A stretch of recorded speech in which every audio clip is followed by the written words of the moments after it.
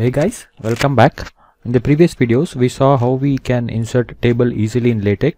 Also, we saw how we can align the content in the table both vertically as well as horizontally. And we saw how we can beautify the table by uh, inserting uh, various style of lines to the border of the table. And as well, we saw how we can, uh, you know, merge the column of the table as well as merge the row of the table. In this video, we shall see how we can control the width of the line in the table. So we shall begin uh, backslash document class and document type is article. Okay, we are we are not using any library here.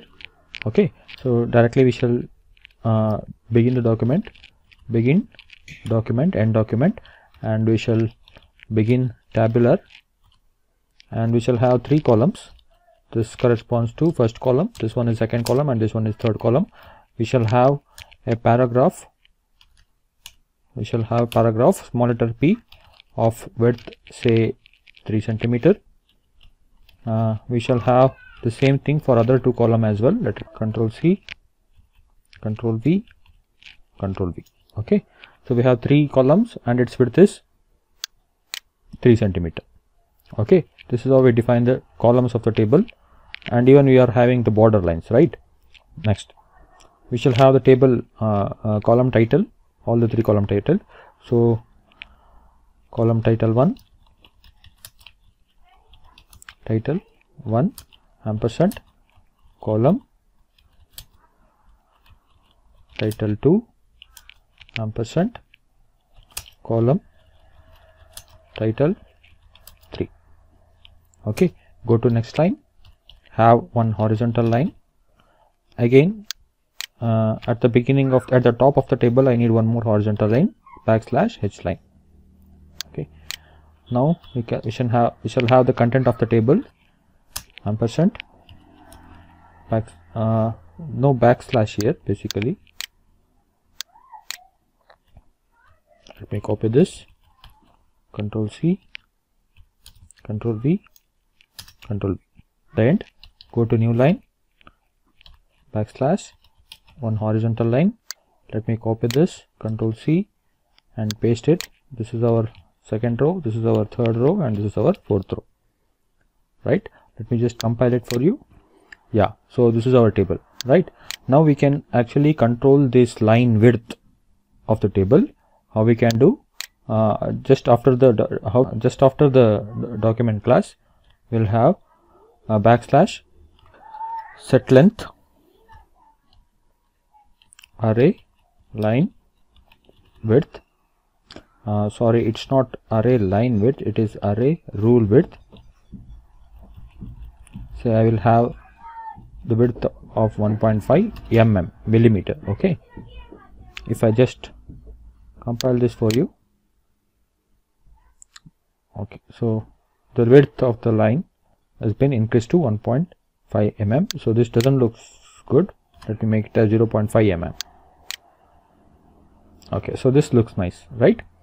So this is how we can by changing this number you can actually have the control of varying the width of the border line in the table. Okay? And we have one more parameter here set length uh, tab call separator of 15 point 15 point. So what this line does is basically uh, uh, this will insert a tab space in each and every cell of this table even in the second column even in the third column including the column title okay? Uh, you'll get an idea when I compile this. If I compile this no. Okay. So it has given me a how many point? 15 point tab space at each and every column of the table. Right? Now if I just make it as 50 now I will get to see 50 tab space in the table. Fine. Uh, you get the idea right? Okay. Now let me just make it as 10 point tab space. Okay. So set length of tab column separator will insert the tab space in each and every cell of the table. Fine. So we have one more uh, parameter to control in this table is uh, is renew command backslash array stretch s t r e t c h of if I just give 1 this will have the default row size a r r a y s t r e t c h. Okay. So this has a default uh, row width. Okay. If you want one is the default row width. Now related to default row width if you want to increase the row width so i'll give 1.5 so this will increase the default row width to 1.5 okay. There is no unit here. Fine. Now if you want more you can give 3 fine now if you want less i can give 0.5 so that the size height of the table will reduce. Okay? So this is how we can change or we can control the uh, row width default row width of the table